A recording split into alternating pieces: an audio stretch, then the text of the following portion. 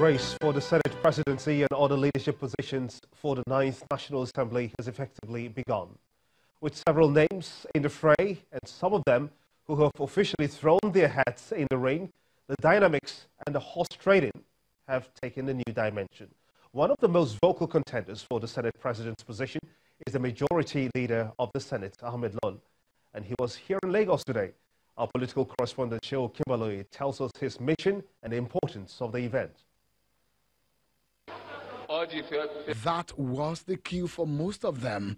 A ticket they got for entry into the 9th National Assembly. It's not on our agenda. The leadership of the APC has perhaps learned its lessons from the incidents of 2015 and they don't want a repeat of the scenario.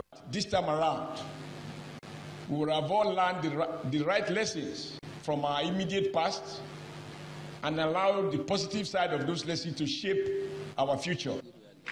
Interestingly, politicking over the leadership of the National Assembly has begun. This is how the party standings looks like for the Senate, where the APC has the majority, but only two party minority presence. And in the House of Representatives too, the APC holding sway. But the game has begun to fill the leadership positions. These are some of those seeking the number three position in the land. Senate the Senate Majority Leader Ahmed Lawan, on his second shot at the Senate presidency, is already making overtures and consultations. He's in Lagos meeting senior journalists and some elected senators of the APC. Becoming the Senate president, not for selfish reasons, not because we want to be at the name, but because we want to make positive difference in governance in Nigeria. As he canvasses for their support, how does some of his colleagues view his chances? You also need a leader that will be able to consult, that will be respected, and that will be appreciated. And I think it's within this context that we are saying Ahmed Lawan, you know, should be the Senate president. Mm, the mistake we made in 2015 will not repeat itself because once beaten, twice shy. So we are more than prepared. What happened in 2015 was a little bit of a mix-up, and there's not going to be mix-up this time around. The only YPP senator says he has the party's backing on the side he has taken. Well, everything I'm doing has the backing of my party because I cannot just be alone in the Senate. I have to look at um, people that um, I have to, I will work with. And the only female senator in the room, Senator Oluremi Tinubu from Lagos, is also eyeing the deputy Senate president position. This is the time, and I believe that I can give the women, you know, uh, good representation. The race has begun. Although it is about two months to the inauguration of the National Assembly, analysts say the ruling APC must be tactful and strategic as not to have the situation slip out of its control. Shewa Baloye, reporting for Channels Television News. Consumer goods giant Unilever PLC has been speaking on early detection and treatment of oral health challenges. The category manager, Mrs. Tulua Leke Salu, who was speaking at the uh, event to mark the 2019 World Oral Health Day at the Junior Health, uh, that would be the Junior Secondary School Life Camp, stressed the need for regular checkups as well as brushing the teeth twice daily. She advised Nigerians to take their oral health seriously and avoid other medical health challenges. It's the 2019 World Oral Health Day. And this time, Unilever PLC, makers of Pepsodent toothpaste, took its campaign to students of LEA Junior Secondary School Life Camp.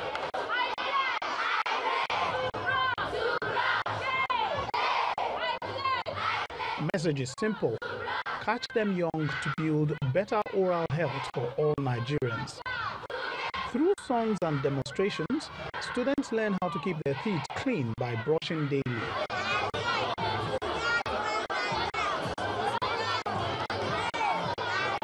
We're in Abuja today. We also had a team in Ikorodu and Badagry. So we use that to capture the parents.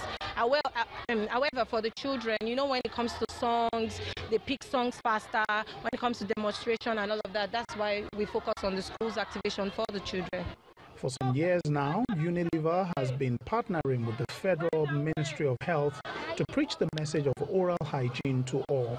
This includes frequent visits to schools, markets, and places of worship.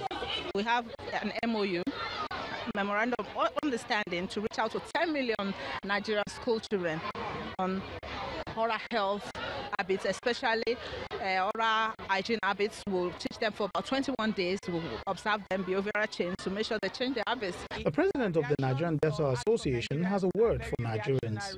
Most people go to the dentist only when they have orofacial pains or when there's a medical dental emergency. So we're looking forward to improving that habit. That is why a program like this time World Oral Health Day uh, celebration is geared towards raising awareness to the need, to the fact that people need to visit their dentist. Regular dental check, brushing twice daily are some of the recommendations in maintaining good oral health. This hopefully will save Nigerians from having to overstretch their budgets for oral related health challenges. Watching the news at 10 on Channels Television. Let's quickly shift our gears again now, shall we, to business news with Melinda Kinlan.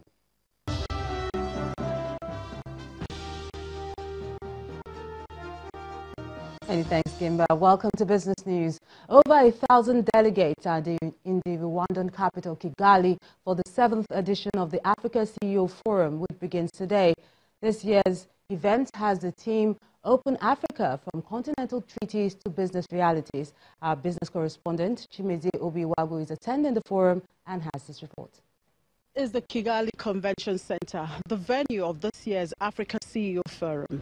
Inside the center are about 1,800 delegates from across Africa, including four presidents and several ministers.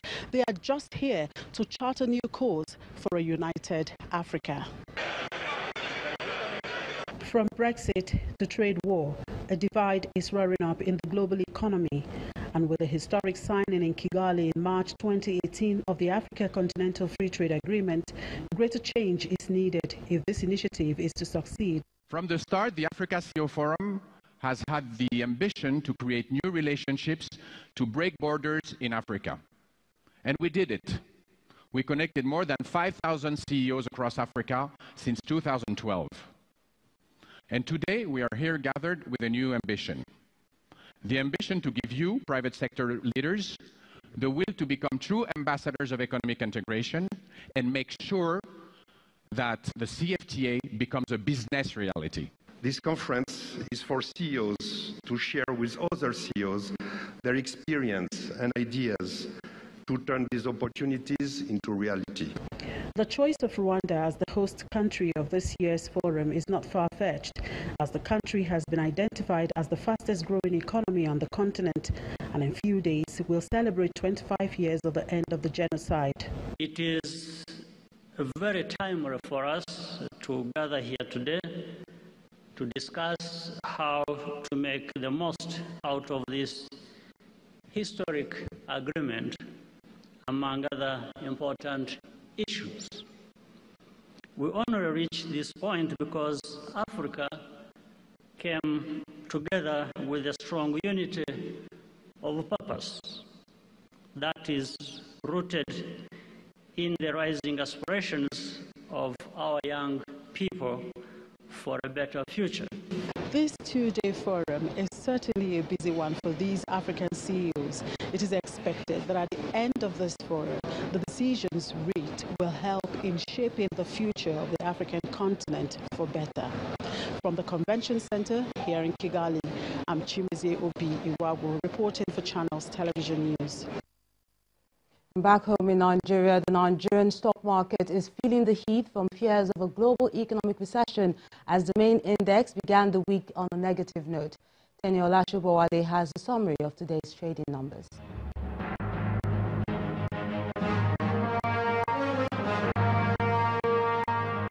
Hello and welcome to the Stock Market Report. The fear of a global economic recession is also taking its toll on the Nigerian equity market as the last trading week for the month of March began on a negative note. Investors' appetite for stocks remained weak, leading to a 0.31% drop in the all-share index. Total value of all listed securities stood at 11.576 trillion naira All the major sectors closed in the red, with the industrial goods counter taking the heaviest hit, down 1.64%. The insurance and banking sectors followed, shedding 0.97% and 0.78% each. Volume of shares traded were lower as 168.72 million shares worth 3.75 billion naira were exchanged in 3.048 deals. Tier 1 lenders such as GT Bank, Zenith and Access Banks made the list of top trades. And that's it on the stock market report. I'm Teniola Shoboali.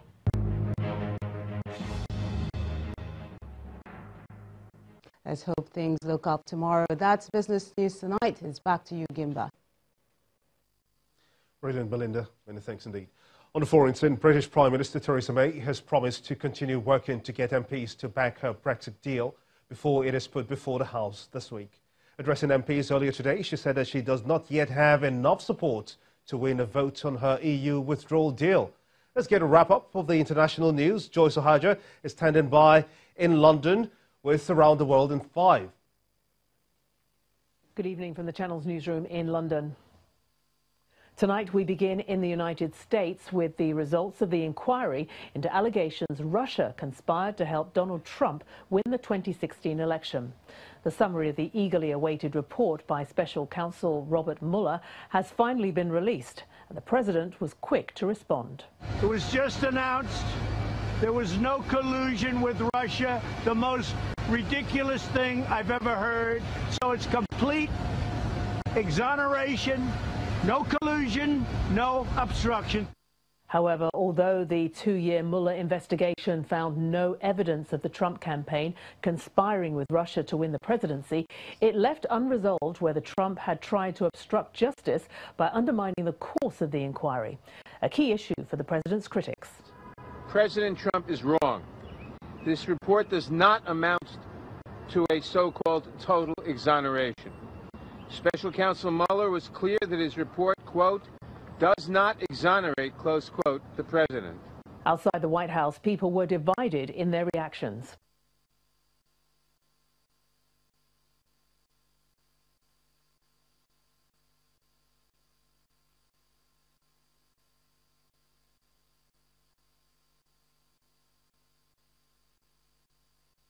And political figures on both sides took to Twitter to express their views. And President Trump himself was succinct in his summing up. I just want to tell you that America is the greatest place on earth. And now to the UK, where uncertainty still surrounds every aspect of the proposed withdrawal from the European Union. A weekend of Brexit politics and protests led to the story once again dominating the headlines. In the face of widespread calls for her resignation, both within the press and Parliament, Prime Minister Theresa May held a crucial cabinet meeting at number 10 Downing Street. Several key ministers had already expressed their support, but no one was underestimating the scale of the crisis. Many of those who had voted to remain in the EU took to the streets of London on Saturday to deliver a clear and emphatic message to the government. An estimated 1 million gathered to demand a second referendum. What do we want? Revote! When do we want it? Now! And on the British Parliament website, millions have signed an online petition calling for Article 50 that triggered Brexit to be revoked, breaking all records. In France, Chinese President Xi Jinping is on a state visit that is expected to deepen economic ties between the two nations, with a focus on a series of energy agreements, including cooperation in nuclear power and aerospace. President Xi, accompanied by his wife, arrived in Paris after having already met the French President Emmanuel Macron and his wife in Nice. And in nearby Monaco, President Xi became the first Chinese head of state to visit the principality. Now to Israel, where a long-range rocket destroyed a home north of Tel Aviv, injuring seven people, including three children. The strike came minutes after residents in the agricultural town of Mishmeret were woken by air raid sirens. The Israeli military's warning of what it says was a rocket launch from the Hamas-controlled Gaza Strip and Israel has responded by blockading all routes into Gaza. On hearing the news, Israeli Prime Minister Benjamin Netanyahu announced he would cut short his trip to the United States after meeting President Trump.